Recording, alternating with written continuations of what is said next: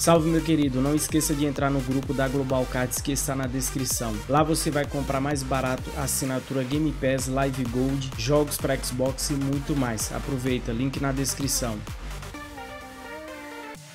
E aí, beleza? Aqui quem fala é o Muka, trazendo para você mais um vídeo de corridas online aqui no Forza Horizon 5 e hoje a gente vai trocar uma ideia sobre os assuntos que a gente discute durante as nossas lives da Twitch. Se você não me segue na Twitch, o link tá na descrição, todos os dias a partir das 9 horas, 9 e meia, a gente tá fazendo corridas online lá com os seguidores, então aparece lá para correr com a gente. Então ontem o pessoal pediu para me comentar sobre a discussão da galera lá no fórum do Forza, teve até um gringo que fez um vídeo aí sobre os probleminhas que o Forza tá tendo, principalmente na questão de competitivo, que para mim é uma coisa que desde o Forza Horizon 4 competitivo aqui não é legal. Lá no Forza Horizon 4, lá no início, eu já falava que o Forza Horizon 4 tem uma diferença muito grande se você comparar PC, Xbox One Fat e até o Xbox One X. Tinha uma diferença, principalmente em questão de FPS, e muita gente falava que eu tava chorando, né? Mas hoje os gringos estão reclamando do Forza Horizon 5 e eu acho que no Horizon 5 é mais difícil de identificar essa diferença, principalmente dos, por causa dos consoles da nova geração. Mas quem joga ainda no Xbox One Fat percebe uma diferença muito grande, né? E eu acredito que é por conta disso que a gente não tem um modo ranqueado no Forza Horizon 5, porque isso ia ficar muito na cara. Mas não é só por isso que o pessoal tá reclamando, o pessoal reclama muito sobre os bugs do Forza Horizon 5 desde o lançamento. Não precisa ser um gênio, né, para saber que o Forza Horizon 5 ele foi lançado às pressas. Se você ver meu vídeo de react no primeiro anúncio do Forza Horizon 5, eu fiquei assustado, porque eu não esperava que o Forza Horizon 5 fosse lançado e o pessoal ficou me zoando, né? Principalmente a galera que tava querendo um Forza Horizon 5, né? Eu até entendo o pessoal porque o Forza Horizon 4 já tava um tempo no mercado e depois de uns certos anos o pessoal já começa a querer solicitar o Forza novo, né? Que no caso seria o Horizon 5. Mas na minha opinião,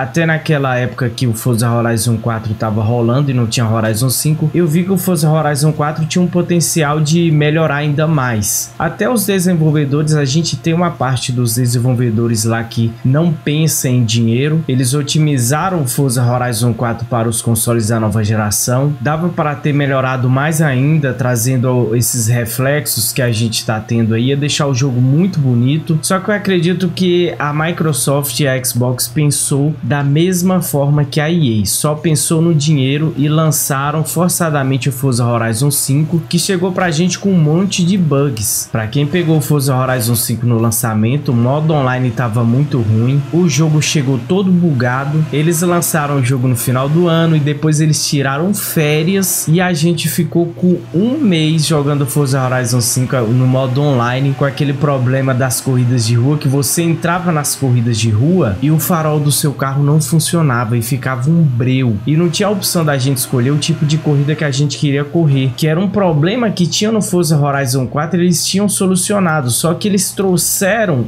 é, tipo um backup do Forza Horizon 4 pro Forza Horizon 5 e descartaram a opção da gente fazer corridas particulares, escolher quantas pistas do mapa, do mapa a gente quisesse escolher e removeram a ranqueada também. O Mike Brown, que era o antigo diretor criativo, ele falou que queria tirar as corridas competitivas do Forza Horizon 5, mas na real eles lançaram o jogo com tanta pressa que não deu tempo de nem trazer algo que seria mais balanceado. E o Forza Horizon 5 ser lançado para os consoles da geração passada, não é que eles estavam pensando na galera que joga no Xbox One, aquele, aquela questão de inclusão, eles estavam pensando mesmo era no dinheiro, porque o Forza Horizon 5 na real não era para rodar no Xbox One Fat não. A gente vê direto aí o pessoal do Xbox Xbox One Fat reclamando que o jogo não roda direito, tem muitos bugs. Tinha um período aí que nos eventos sazonais às vezes aparecia o baú do tesouro para quem jogava no PC e para quem jogava no console não. Pro pessoal do Xbox One Fat estava todo zoado. O Event Lab tem eventos que dependendo da complexidade não dá pra gente correr com outros jogadores porque não consegue carregar. Quem faz o evento sazonal aí vai fazer aqueles Event Lab é só você que corre ali porque não dá para correr com nem com bots porque é perigoso cair. Quem joga no Xbox One Fat ou num PC antigo começa a cair bastante FPS. Eu vi o pessoal lá no Discord reclamando também na questão do competitivo, porque querendo ou não, Forza,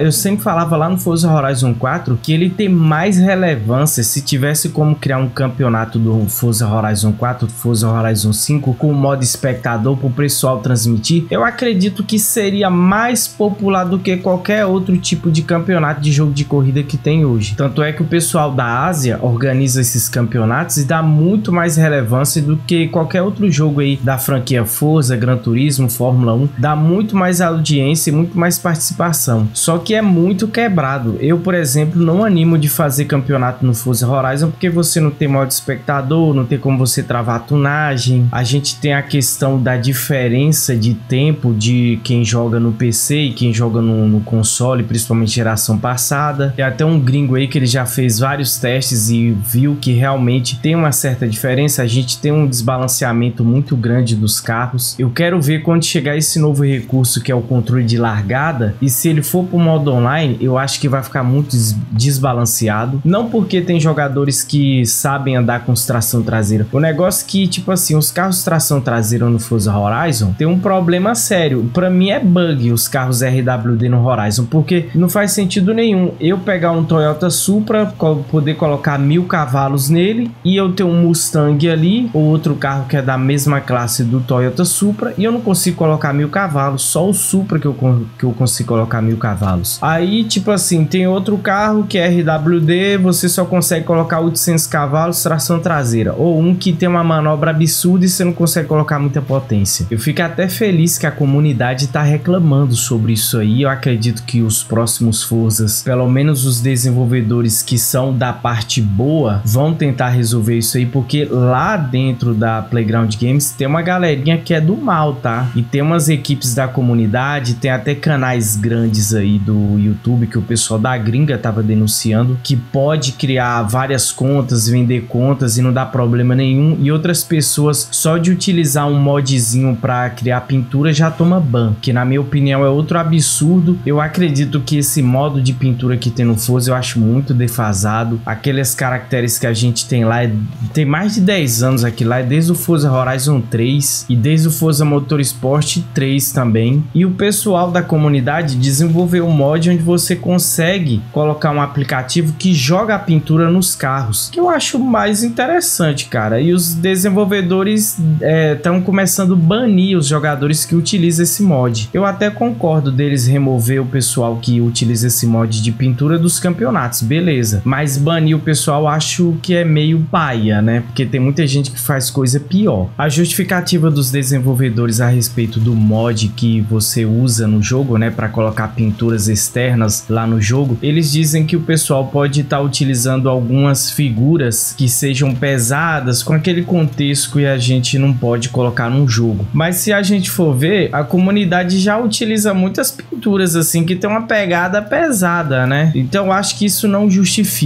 Como eles têm uma comunidade lá interna que é focada em pinturas, campeonatos de pintura, tal, esse pessoal tem uma certa influência para convencer os desenvolvedores a não colocar um aplicativo como esse. Deixe nos comentários se você é a favor ou não. Por exemplo, eu quero fazer um carro de corrida, aquela pintura de corrida. Você pode muito bem jogar nesse aplicativo e ele utiliza os recursos que tem no jogo para criar essa pintura. Tem jogadores que até colocou minha foto no jogo utilizando esse aplicativo. E a comunidade pediu para colocar esse recurso no jogo porque ele é inofensivo. Só que eles não querem, porque tem uma certa comunidade lá dentro, tanto de design quanto dos campeonatos, que tem uma influência muito grande nos desenvolvedores. Dá para você ver lá no site oficial do Forza lá, na parte comunidade, tem a logo lá de algumas equipes. E alguns membros do desenvolvimento fazem parte dessas equipes. Só para você ter uma ideia, tem um escândalo aí que rola na gringa de uma dessas equipes que fazem parte do Forza oficial que organizaram campeonatos e uma pessoa venceu esse campeonato e parece que ele não recebeu a premiação. Eu me aprofundei muito nisso porque, mano, campeonato no Forza Horizon para mim não dá, velho. E essa confusão que rolou é um exemplo claro que o Forza Horizon não dá para fazer campeonato, velho. A não ser que seja uma coisa bem organizada, todos os membros são conhecidos ali, mas mesmo assim eu prefiro fazer um Forza Motorsport. Mas nem tudo está perdido, mano. Tem uma comunidade de entusiastas no Forza e o pessoal que está ciente dessas coisas que está acontecendo estão colocando isso à tona e eu acredito que o próximo Forza ou até mesmo esse Forza no futuro pode ter melhorias aí que vai agradar a gente, vai agradar toda a comunidade. A gente vê que tem uma galera trabalhando, né? Tem um pessoal que está até apagando os tempos do modo rivais, apagou mais de 3 milhões de tempos. Então eu tenho fé que o Forza ainda vai melhorar. Até lá a gente vai ficar com essas limitações de modo online. Nós temos essa semana e a próxima de update e logo na próxima a gente já vai saber como é que vai ser a nova DLC e os novos updates que vão chegar pra gente no mês que vem. Então fica ligado no canal para você não perder nada. Deixa o like, manda um salve nos comentários. Se você não é inscrito, já se inscreva. Tem lista de dicas do Forza Horizon 5 aí na descrição. Para você que não conhece, Overclock é um produto que te dá mais concentração, mais disposição para você fazer suas atividades, estudos, concentração em jogos. Eu utilizo até para treinar na academia. Se você não conhece, o link tá na descrição. Se resolver adquirir, utilize meu cupom que tá na descrição também, beleza? Até o próximo vídeo.